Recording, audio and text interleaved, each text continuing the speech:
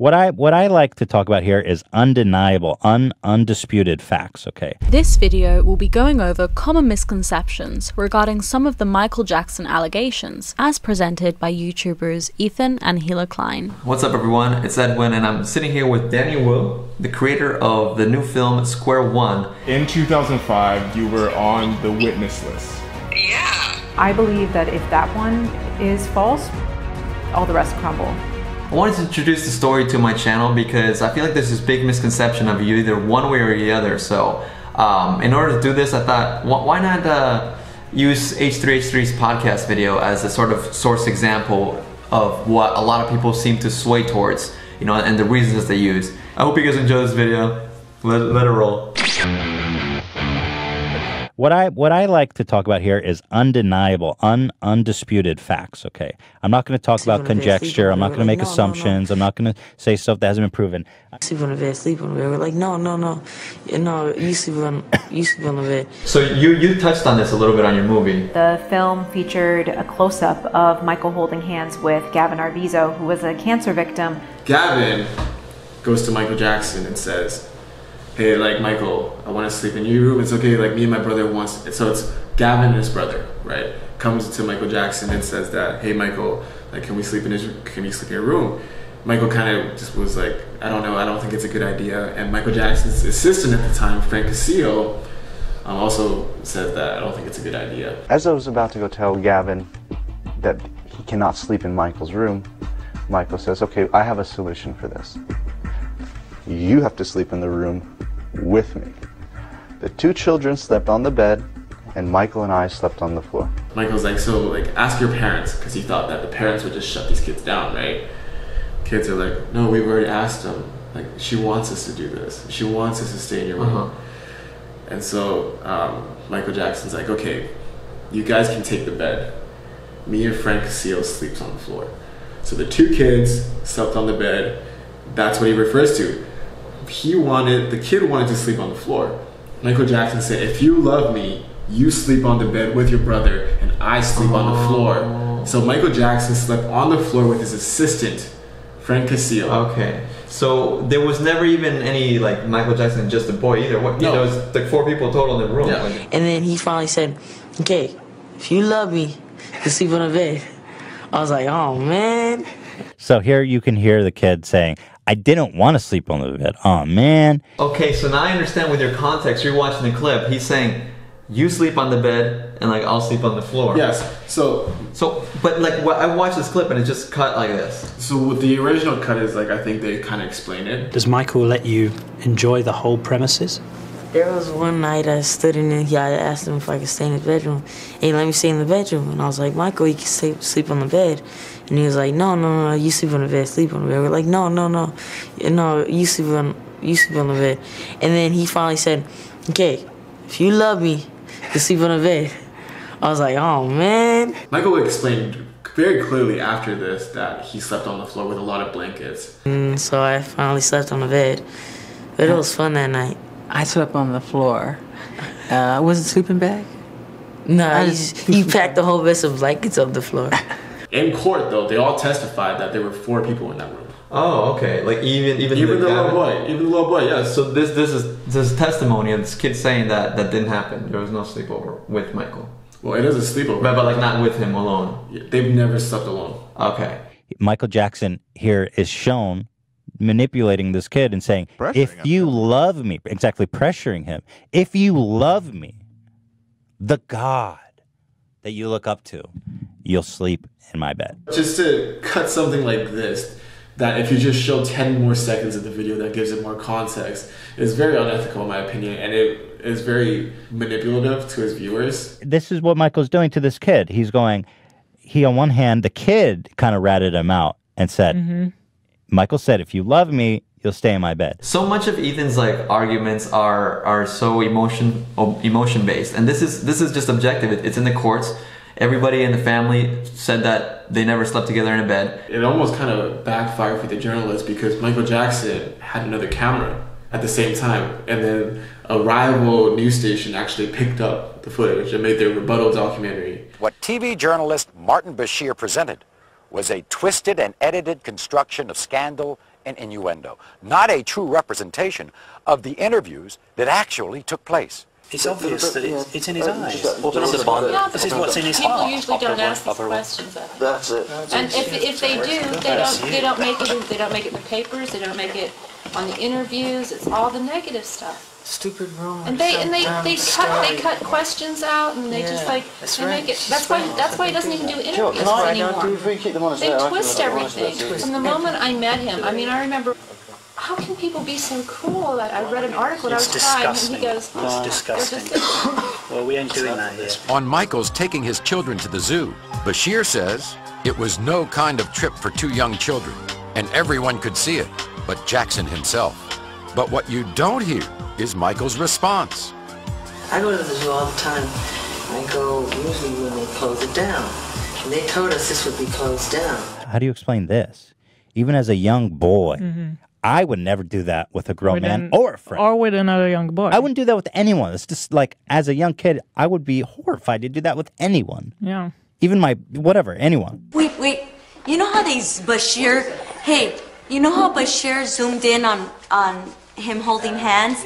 Do that the same thing. Because you know- Because because that's what a mother and uh, Like, does know with how a son, does. or a father does with a son. You know, and they try to make it out to see be something wrong and dirty. I would argue that even if it wasn't set up, which it was, I would say that I don't find anything wrong with it because in the video itself, the child talks about how he saw Michael Jackson as a father figure. I'm appalled at the way in which my son has been exploited by Martin Bashir.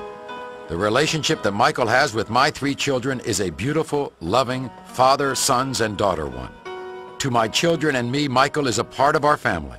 In addition, she is considering action against Mr. Bashir for including Gavin in his special without parental consent. He said, "Come to him, not just Gavin, but Star and Davellin, and me." And called us his family. He clearly states that he saw Michael Jackson as his father. And I would hold hands with my dad all the time. I lean like head on my Yeah, that's- dad's shoulder all the time. Very innocent and beautiful relationship, which everyone has spun it out of control. It's a wish come true. For example, to see my children interact with an ideal role, a father role model. And I have never invited them in my room. Really? They always just want to stay. What about if you love me, you'll sleep in my bed? I could take a video of Ethan saying N word and then putting it out of context. Saying nigger. Taking something out of context, man. This I is think- sad. I to add to that, I think it's also during that period of time, YouTube, as a general whole, was more mature as a society. Like we wanted to see people made fun of, right? But then as like YouTube grows, that kind of becomes more biased, and people are kind of now more leaning towards um, videos that are more objective and show both sides. You know, you could pick a side, but it's better to like kind of show both sides of the picture before you do that. And the keep this this um this rambling of just piling on to nonsense, you know, it will rub people the wrong way. I feel like it was absolutely credible, and, and people who are decrying the documentary are protesting it, and out of protest are not watching it. I find that ironic because they're so obsessed with research. When I first started reading about the other side of the arguments about Michael Jackson being guilty, I was swayed to that. po- I was swayed in that direction. I thought they had some very good arguments. Yeah. And um, so I was still, I still liked his music, but at the same time, at that point, I was like, okay, this guy's probably guilty. It wasn't until I started doing intensive research, though, that I started seeing that well, these arguments are actually pretty bad, and they're all taken out of context, you know, to fit one's own narrative. A news clip of Mark Geragos, who initially represented Michael in 2003 in the criminal case, is manipulated to appear as if he's threatening an accuser after Michael's arrest. We will land on you like a ton of bricks. We will land on you like a hammer. If you do anything to besmirch this man's reputation, anything to intrude on his privacy in any way that's actionable, we will unleash a legal torrent like you've never seen. In fact, he was talking about a completely different legal case in which he and Michael were secretly videotaped on board a charter aircraft. disclosed that those two video cameras, which also apparently had audio on them, were surreptitiously placed in there, were recording attorney client conversations. You see the whole family in the documentary. They all give their perspective. Oh yeah, Michael called us every night for two hours. Michael was sending us faxes every day. Here's the facts. Mm. Let's get the facts out of the way. Michael Jackson wrote stuff like that to everyone. I've been to Taj Jackson's house. Michael Jackson would write letters to fans. You know, he would have pen pals going back and forth saying "I love you, Uncle Doodoo," stuff like that. So the facts, Matt, the faxes don't mean anything. Do these notes sound like him grooming this family? No, no. You've got some. We've got some of the my, notes here. I have these. My brothers have these. You know, if if he thought his words could help you or inspire you, he would write you a letter. Uncle Doodoo. He calls himself Uncle Doodoo, of yeah, course. He's called himself Uncle Doodoo to us a lot. Wade, now Wade is super interesting because he was with Michael Jackson, and I say with because they were in a relationship um, for seven years. And to say that Wade Robson had a relationship with Michael Jackson for seven years is just ludicrous because one, the timing just doesn't add up because Wade Robson visited Michael Jackson once and he went back to Australia, right? And then he moved back to LA, and that's when um, the supposed relationship happened. Well, there's a problem. When he came back to LA, according to his court testimony, according to his depositions from 2005 and to now, all corroborated, he's only been to Neverland four times while Michael Jackson was present. So how are you going to have a relationship with someone when you've been to his house four times? Now, to add on to that, during this period of time, Wade Robson was also was also in a relationship with Michael Jackson's niece, Brandi Jackson. We met at a photo shoot with my Uncle Michael. Everything went really well. We all hung out together. We were friends. Next thing I knew, um, he had asked my Uncle Michael if he could get to know me better. He had started to develop a little crush. So from 10 to 20, Wade Robson was having like a, a very age appropriate relationship with a female, uh, a girl that Michael Jackson basically set them up with. He asked my Uncle Michael if he would arrange a situation where we could get to know each other better. So my uncle did that. He had us uh, both meet at the ranch. At the same time, he's having another relationship with Michael Jackson. I'm sorry, but when you're that young, you can't. You just you're not that sneaky. And um, He- so he's cheating on Brandi Jackson with his. He's cheating on Brandi Jackson with Michael Jackson while only going to Neverland four times with Michael Jackson there. And even to his own account, Michael Jackson pulled away from him, uh, or he pulled away from Michael Jackson like as the time went on. So the, the math just doesn't add up to have this rela- perfect relationship that he painted of them together. Well, according to Ethan, Michael would always say to them, repeat to them, if we, if you ever tell anyone about this or we ever get caught, I'm gonna go to jail for life. I'm gonna be over. My whole career is gonna be over, and you're gonna go to jail for life. when you go into these court cases, uh, the prosecution is going to want to cross-examine you as a witness. You know, especially because Wade Robson was the star witness, as the, the Michael Jackson's attorney called him. You know, Tom Mesereau. When I went to Danny's premiere, I, I got a little clip of him trying to explain cross-examination because I feel like the general public just doesn't understand just how that works. Well, Wade Robson was cross-examined by a superb lawyer named Ron Zonen, who was one of the best prosecutors I've ever faced. He knew the facts, and he went after Wade with a passion, tried to do everything he could do to get him to change his testimony, tried to get him to knock him off balance, to make him look non-credible, and Wade stood his ground, and in my opinion, stuck with the truth and did a fantastic job. You met Wade as well? Because he was on your side, right? I called Wade as my witness. Oh, okay. Wade Yeah. was the first witness I called in the defense case in defense of Michael Jackson. I met with him for hours in Neverland. I talked to his, his mother, I talked to his sister, and I called them as witnesses too.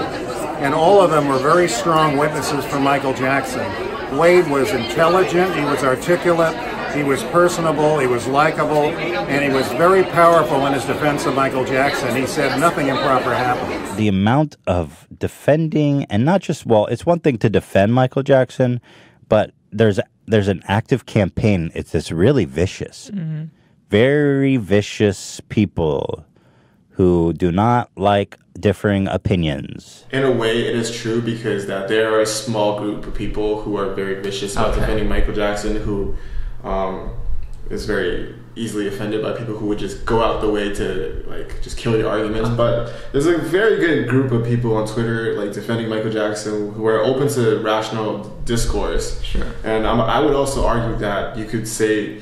Um, the same, if not way more, about the people on the other side who would not take any arguments about um, if Michael Jackson was innocent or not because True. these people have a history Okay. going after um, Michael Jackson fans defending them. So just as there might be some vicious people defending Michael Jackson, there's definitely vicious people that are against Michael Jackson. Yeah, I would. I could reasonably say that there are probably more viciously, uh, just vicious wise, uh, with evil ten, intent. E- even so, I feel like it's been a very prominent stereotype to just say things about Michael Jackson, you know, in the negative light, Exactly. without properly even knowing the allegations themselves or, or the victims' names. You just kind of like blanketly make jokes about him, you know, since South Park and all that stuff. Hey, you want to play with me?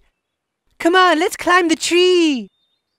Come on, climb the tree, climb the tree. I feel like, especially for us, we grew up like in the early 2000s, late 90s, and um, people back then were definitely making fun of Michael Jackson in school. Oh, yeah. and stuff like that. I grew up with like around Michael Jackson jokes. This lady dies and goes to heaven, but before she, before she dies, uh, angel comes down and says, "You get one wish." And she said, "You know what? I had a good life and everything, so I wish all the kids in the world were safe." Five minutes later, Michael Jackson dies. It was accepted. It didn't hurt anybody's feelings because nobody was connected, We whatever. always have to make those jokes kind of fit in. I'm not a jackal. I'm Jackson. I have a heart and I have feelings. I feel that when you do that to me. It's not nice. Don't do it. I'm not a wacko. People who are decrying the documentary are protesting it. And out of protest are not watching it.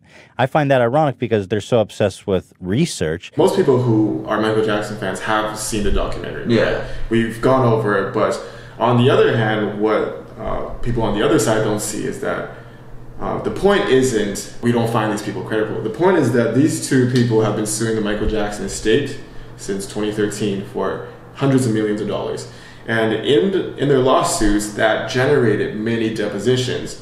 And a lot of people have been finding inconsistencies in the documents before Leaving Neverland even came out. You know, these were these ca- these court cases were thrown out of court, right? Uh, judge even said that no rational juror should believe Wade Robson's um, accounts.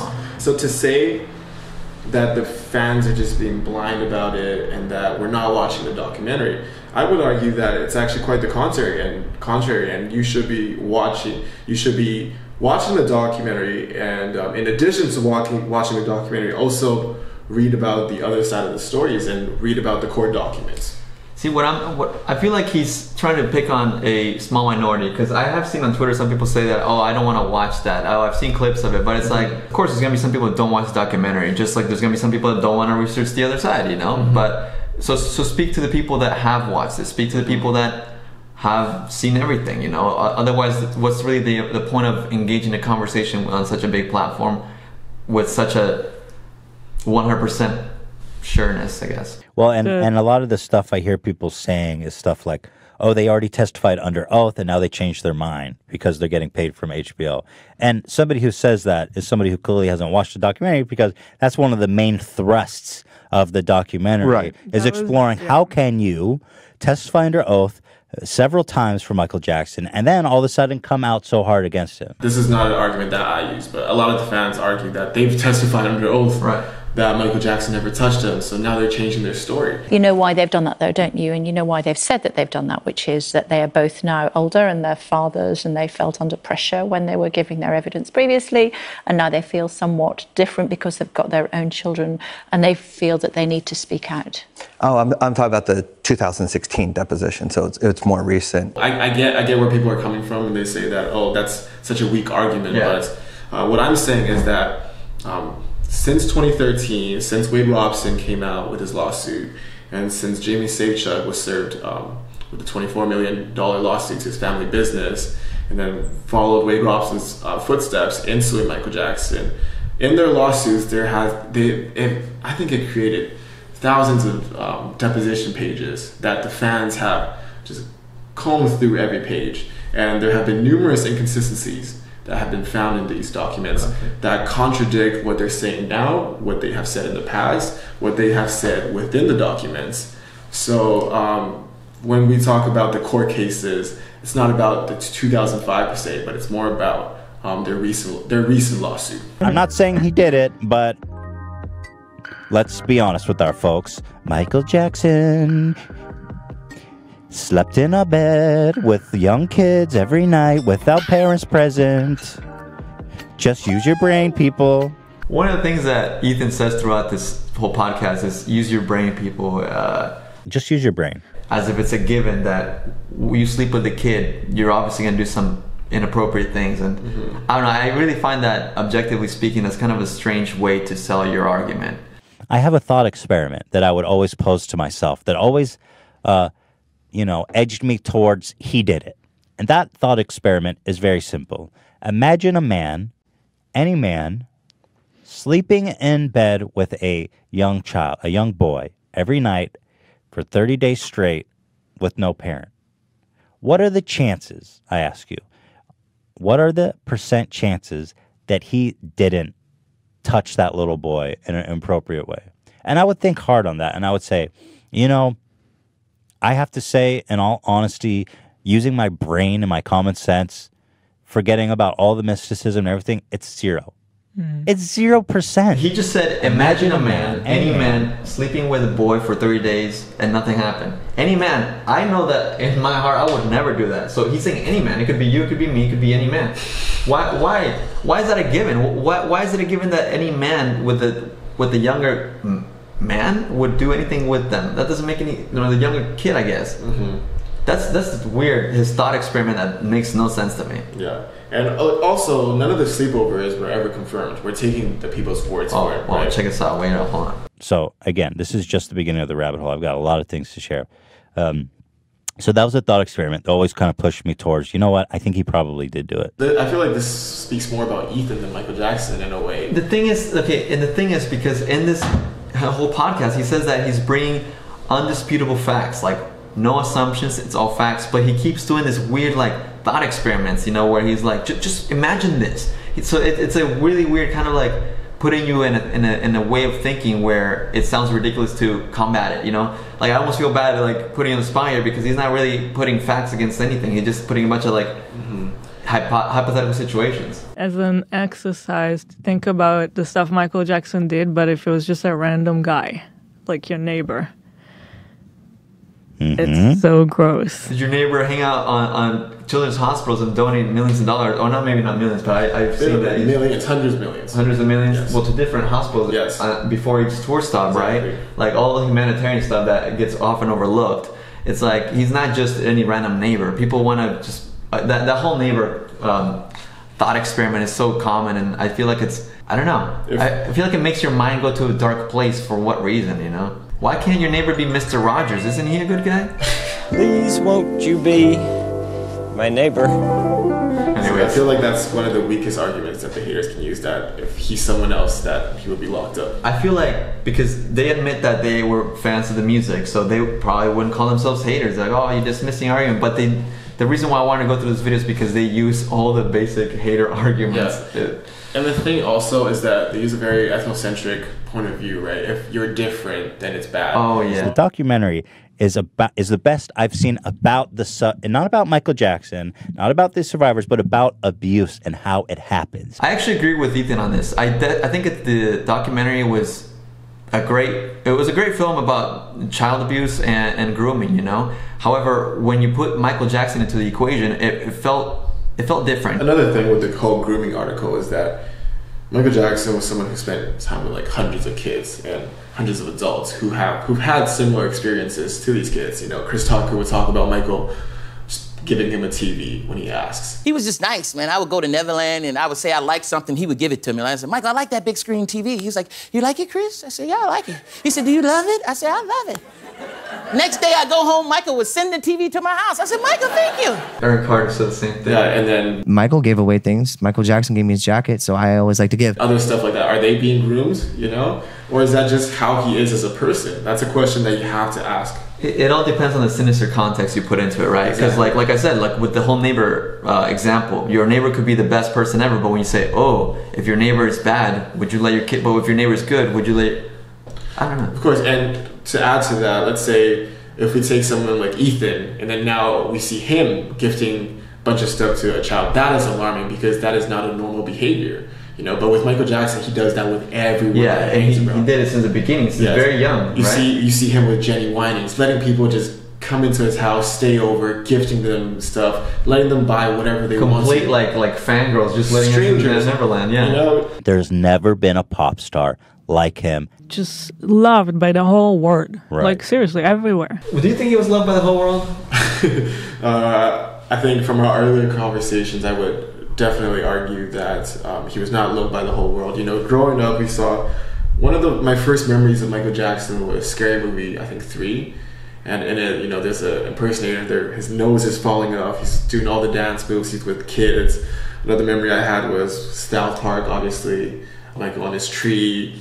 You know, just in schoolyards in general, like the vibe was to make fun of Michael That's Jackson. some dark love, you know. Exactly, and um, it wasn't until 2009 when Michael Jackson passed away where the tide kind of went the other way. Yeah, I saw um, there's this classic YouTuber that made a song. Michael Jackson is dead. No, you never gave a shit. So why are you pretending, you motherfucking hypocrites? Michael Jackson's such a freak. You'd hear it a thousand times a week on every fucking TV screen and every. Michael Jackson, as shown throughout the documentary, was very particular. He found weak families. He Yeah. found families with weak bonds. That's not true. There's so many more families that he helped out in the process. So many more people that have spoken there's, up for there's, him. there's hundreds of families that we know of uh, that Michael Jackson had similar relationships with. Yeah, rich, And- and poor. None of the all the families they still support him to this day. Yeah, and all these four accusers. That seems like a big number, four accusers. But what do they have all in common? Never went to the police. All went to civil lawsuits. Uh, the go went to civil lawyers to file a lawsuit against Michael Jackson. So, you know, at the very least, there is a question mark. Michael would call them to their house every day, and he would talk to the mom too for long times. And eventually, he got her to move here with Wade and the sister. And basically, this whole pa- family broke up over this whole Destroyed. thing. Absolutely destroyed the family. The dad was left back. They all abandoned him, and he later committed suicide. What I find interesting is is how they are so against people who say do research, but they're taking these people's word as gospel. You know, did did Michael Jackson buy these people a house and make them move to LA? Right? And he bought one of them a house. No, not at all. So And, where is uh, this coming from? Because I'm just I'm out here. I just played a bold card. I just said that we shouldn't believe these people as gospel. So why not? So, again, Joy Robson, she did an interview. They asked her why she moved to LA. So, Hollywood. You came from Australia. Te- okay, tell us why you came from Australia and how did it go? Oh, good. Yeah, I'm good. Thanks for coming out. Yeah. it just felt right. so you packed your bags and you came out. As I say, six suitcases and a dream. And two of my children, my eldest son decided not to come. He was in college. And I thought it was going to be this wonderful adventure and that we'd be superstars within a year and be traveling. Well, back you and have forth. to think that way, or it would Yeah, be very hard everybody to does. move Right. Yeah. From And, Australia you know, to. eight, eight years later, we were still still trying to pay rent. She definitely was not the mum that I grew up with at that point. It wasn't so much about the family anymore. You know, it was it was about getting over there, starting this new opportunity for for Wade, which you know in reality was opportunity for mom as well. And I remember my dad just saying, please don't leave to me. But even in the movie, they acknowledged that when they got to like LA, Michael Jackson wasn't paying for their like house. Right. You know, they were complaining that they were living in a small apartment and stuff like that. So to say that Michael Jackson was grooming them during that time, that contradicts their own um, story that uh, Michael Jackson had a seven-year relationship with Wade Robson. It's like, but at the same time, you're talking about how Michael Jackson is pulling away from It's, you. it's a lot of mental gymnastics, which is interesting because there's this constant like when you watch Ethan's podcast here, he's constantly asking you to think like, okay, just do a little thought experiment. He says this like several times. So that's what I'm trying to get. I'm trying to think like, so is Michael Jackson pulling away from them or is he grooming them? So in the movie, also, I don't know if you remember this, but they were talking about how Wade Robson was upset that Michael Jackson didn't call him, right? When Michael Yeah. Jackson was on tour and didn't call him. But if he calls them, that's grooming. If he doesn't call him, that's being mean. Right. There's So- there, there's there's a weird weird dilemma where there's no there's no It's a right. catch twenty two situation for Michael Jackson, which um yeah, it's very unfortunate. Because people only want to look at this dark side here. all of the boys he befriended were like really handsome models. One was a TV commercial, one was a dance. Like these were really handsome, beautiful young boys, Yeah. right? Not fat boys, not ugly boys, not little girls. It's very freaking true. Why? Think about the, uh, some other kids. Dave Dave. Is Dave Dave a model? Metaphorically, he was almost like a father that I never had. He's always been nothing but a great friend, not just to me, to my whole fa- my whole family. We grew up with him literally since he was three and I I was five, and so being around him was just normal. He was just uh, Michael. He was just our friend.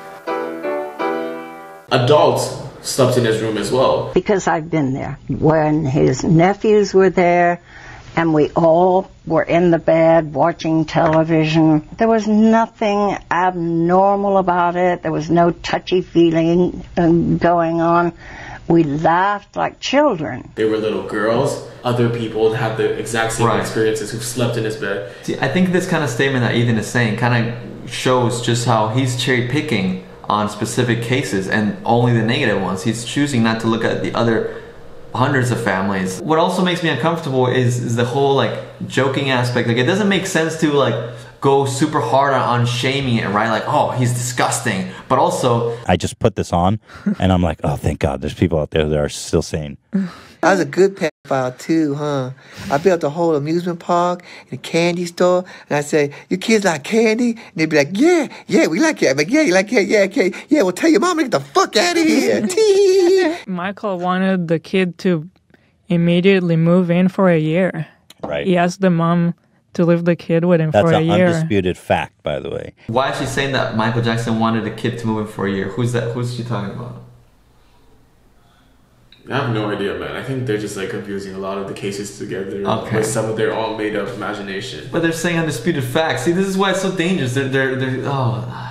The hallway leading to Jackson's bedroom was a serious security zone covered by video and wired for sound so that the steps of anyone approaching would make ding dong sounds. Because he would have maids all over Neverland, right?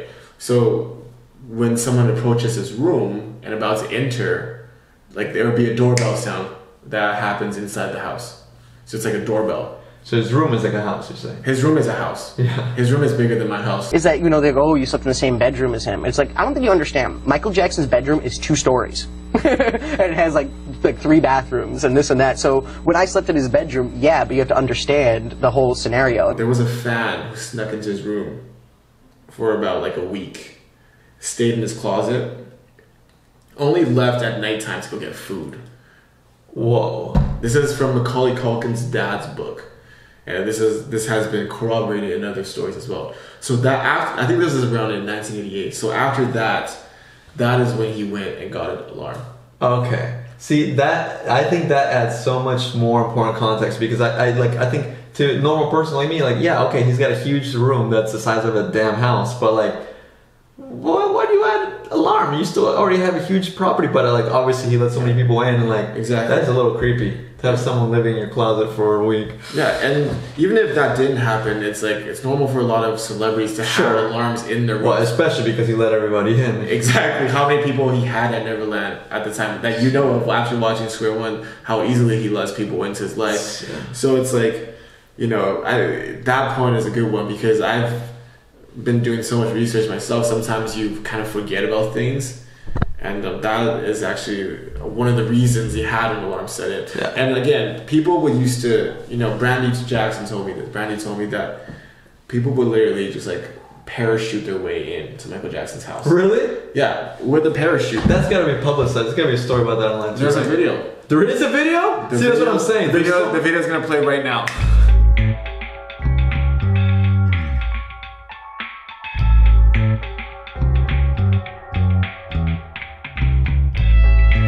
My, this is my genuine reaction here. This is crazy. Right. But you don't really pay $25 million when you're not guilty. I wouldn't. Why did you settle the case? And and it looks to everyone as if you paid a huge amount of money. That's most of that's to get folklore. silence. I talked to my lawyers and I said, Can you guarantee me that justice will prevail? And they said, Michael, we cannot guarantee you that a judge or a jury will do anything. And with that, I was like catatonic. I was outraged. How much money? Totally outraged. So what I said, I have got to do something to get out from under this nightmare. We got together again with my advisors, and they advised me it was hands down a unanimous decision. Resolve the case. This could be something that could go on for seven years. How much money So let's was get it behind us. CBS News has obtained a taped phone conversation. The voices are purportedly the father of the 13 year old boy who is accusing Michael Jackson of molesting him and the boy's stepfather. This attorney I found, I mean, I interviewed several, and I picked the nastiest son of a bitch I could find. Once I make that phone call, this guy is just going to destroy everybody in sight. Any devious, nasty, cruel way that he can do it. Mm-hmm. And I've given him full authority to do that. It'll be a, a massacre if I don't get what I want. If I go through with this, I win big time. I will get everything I want, and they will be told they will be destroyed forever. They will be destroyed. June is going to lose Jordy. She will have no right to ever see him again. Yeah. That's a fact, Dave. That's what's Does that help? Michael's career will be over. Does that help Jordan? Michael's career will be over. And does that help Jordan? That's irrelevant to me. The conversation was taped in July before the police began their investigation. I always find it so interesting how people say, well, well, why would he pay money if he's not guilty? Of course, he was one of the busiest, uh, most sued celebrities alive. Michael was no stranger to lawsuits, and unfortunately for many celebrities, lawsuits and scandals are a part of life whether the accusations are legitimate or not. I get sued probably 15 times a year.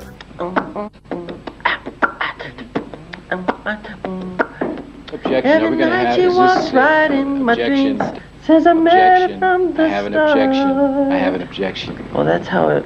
That's how I did it. It may be the most famous star in the world. He's certainly one of the richest, and that makes Michael Jackson a prime target for lawsuits. I believe I Am Annie from Smooth Criminal. Michael Jackson's alleged son has just gone public. The fact that he paid, I don't know that that makes him guilty, you know? I, I feel like, if anything, why would you take money from someone that you're claiming violated your, your child? I feel like that's... Yeah.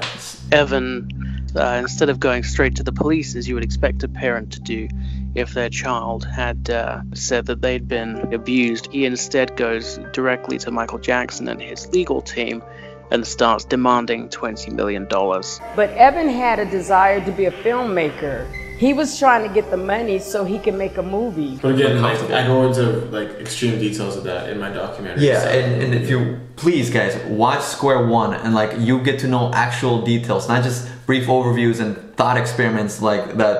You know, H three H three like to It's- collaborate on. Exactly, and I like to go into these cases with an open mind, right? I went into it like trying to convince, like being in the mindset that Michael Jackson's guilty, Right. Because let's be honest, it's pretty. It looks bad on Yeah, the surface. it's level. easy to believe, and again, it's like on the It's surface, completely okay as well. On the surface, it looks really, really, really bad for him. Of course, you know, like there's there's no denying that Michael Jackson was very out there. I mean, there isn't a lot of grown men that hang out with kids and like like to have fun with kids and like Had water balloon fights. You yeah, know? donate millions of dollars to, to kids foundations and all, all this stuff. Like, who, who else does that kind of thing? You know, who else who else visits children's hospitals right before they go on tour? Like to, to sign autographs, Donate give free his toys. tour money to Yeah, the hospital. All of the tour money. Yeah, exactly. The fact that the documentary is one sided, it's like, yeah, that's kind of like the only option. I Well, mean, that argument does, for me doesn't make any sense because and also, what would it help if what they they'll ask uh, Michael's family what Yeah. they think? We already know what they yeah, think. he's not guilty. What is what is the journalistic value of in, uh, of interviewing someone who says, "Well, Michael was a really nice guy and he'd never do anything to a child"? people say they want to see the other side is because again like i um, talked about earlier these two people have been suing the michael jackson estate for hundreds of millions of dollars since 2013 and that generated thousands and thousands of pages of um, deposition papers so is it okay to um, let people know about the existence of the lawsuit you know i feel like that's a I that's guess a that would be like it's like the other side, just to say, hey, this exists, by the way. you know, just to say that this is ongoing and they're suing the Jackson estate for money, as which they documentary- which they completely ignore in the documentary. Right. which you know I feel that not only makes it one-sided, that makes it manipulatively one-sided. Right. To And- leave stuff like that. And also, of course, they have their family. It's important to have the family. I think that's those are great potential corroborations. But like you know, people like Brandi Jackson, who was dating Wade Exactly. for on and off for quite a while. He was always either at my house or I was at his house. Our families were friends. His mother was friends with my mother. And this went on for years. Everything was fine until he became about 17, 18 years old. And I started to see his behavior change. Um, and that's when he started to cheat. If she dated him during that time, I think that would be a very important corroborate or just point of view. People like Brett Barnes, Macaulay Culkin, Mac- um, Corey Feldman. Well, because they were mentioned too. There Brett Barnes were and Macaulay people Culkin. exactly. These were people who were mentioned. Macaulay and Brett Barnes, especially. They were people who were mentioned in the documentary. This was the first time I came up against the new friend, Macaulay Culkin.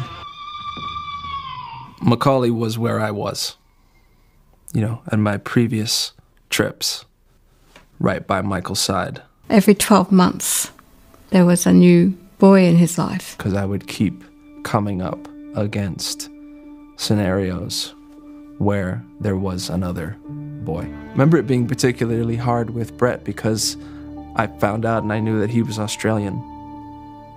Oh, it's a new Australian boy. So you know, maybe hear them out too if you're gonna put them in the documentary. It would just feel like the ethically correct thing to do. It, it would only make sense to include them in something that you're going to mention them or just not mention them. It could have been very easy to not mention Macaulay Culkin or Brett Barnes, but it did it anyway without letting them know. Right, you know, he wants to add them in to fit their narrative, Right. but then he can't let them speak because that would destroy their narrative. So, Or, or how do we know? Uh, if that's not true, Dan Reed, why didn't why didn't you include them? If that's you know you're leaving that space for criticism. So Oprah asked him, "Well, why did you sue him? You know, like, like, what? How isn't it? Isn't that proof that it's about money?" And he says, "Well, it's the only way I could get them to listen to me." I want an opportunity to reprocess that experience. Yeah. I want to get on the stand again because now I'm able to tell the truth. these people have their lawsuits um, thrown out, are appealing it, are going through hoops of fire to kind of just be able to sue Michael Jackson's estate for hundreds of millions of dollars. At the same time, you must also remember that Wade Robson went to the estate um, and tried, try, he tried to file his um, lawsuit. Um, what's, it, what's the word for it? Under under seal. He tried to file- file his lawsuit under seal. The case was thrown out not on its merits, but on the statute of limitation. There's actually numerous reasons why he sued out. There was actually not just one lawsuit, right? There's also a credit claim, creditor's claim, and uh, Wade Robson was perjuring himself so hard in his lawsuits. Like that's how. That's why it was got thrown out. You know, Nothing to do with statute of limitations. there was a part of it being to do with statute of limitations being um, thrown out in the first place. But the reasons that the appeals never worked is because of the other factors. Oh, okay, okay. When I go to see a doctor and he tells me something, I trust him. You know, I believe what he's saying. You're only hearing one side, it. Ela, from that doctor. well, and what's wrong with a documentary? I mean, a documentary is a source of information as much as a book, a movie, a magazine. I mean, That's also not true though. It's like sometimes you go to the doctor and you're like, I kind of want to get a second opinion on that. I really felt bad for Hila right there. I'm like, really? You're gonna listen to a doctor just because you gotta get a degree? Like, there's been times when I go to a doctor, I'm like, okay, let me go to Google next. You know, like even or you just get a multiple like Or second you- opinion. Yeah, second opinion. A, mo- a lot of NBA players do that, and um, it's not to say that you should disbelieve the doctor every course not, time, of of course course. not. But it's like when they come up with ridiculous statements, you're kind of just like maybe I kind of want to see some other specialists as well. different patients, different kind of And doctors. it's a completely different context. I just don't well. think that's a good comparison at all. To say like, well, you know, if a doctor's good, why would this documentary not be good? Not all documentaries are created equal. You know, Or it's like when a teacher tells you that like you're worthless. It's like, oh, I'm just gonna trust that teacher. There's a lot of hyperbole here. It's like hyperbole. hyperbole. It's hyperbole. Hyperbole. Hyperbole. Hyperbole. It's pronounced Hyperbole, exaggerated statements, bro. Hyperbole. It's pronounced hyperbole. It's pronounced hyperbole. Hyperbole. Hyperbole. HBO is not a network that puts out uh, sl- uh, tabloids. It's like a movement now where oh, Anti-fact. you, you just believe what you what people tell you. It's like Or well, no, it's it's a movement of like, uh, oh, oh, that's cute. You actually believe that? Yeah. Just because a distribution like HBO is publishing it, all of a sudden it's credible, and you just believe what people tell you. It's an appeal to authority, really. Yeah, It's that's oh, exactly what it is. They're, they're, they're HBO, so they must be correct. Right. Logical fallacy. Right. It's like it's like someone were to say, "Oh, well, Edwin's just a YouTuber. Don't trust them. But oh, once I get like a big company to back me up, all of a sudden I'm, that's not how it works. You know, it's sad that they're saying it on YouTube. So we should be living in a hierarchy where only the top, their views matter. Right. Yeah. And, and honestly, they're on YouTube right now, so I don't even know why I'm talking about them. Exactly.